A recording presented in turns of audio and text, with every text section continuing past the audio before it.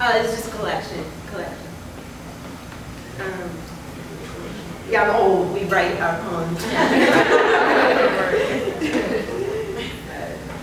Um, uh, this one's called Wounded Soldier. Wounded soldier left right there on the minefield playing hopscotch, naked, alone. I found you covered under fragmented rubble in modesty.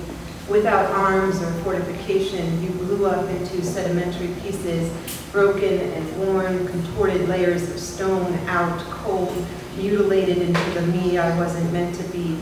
Like a dancing ballerina, bent on taking it to stage, I hold you in at the waist of your modesty, to smell the stench of stale cigar and cedar, wood trapped in the darkness of your boxed coffin, where your hair continues to grow wild from the sound of dark concrete images.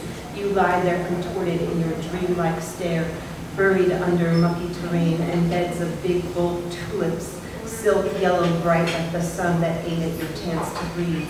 Your limbs grow stiff as life drains, drains away each new menstrual flow.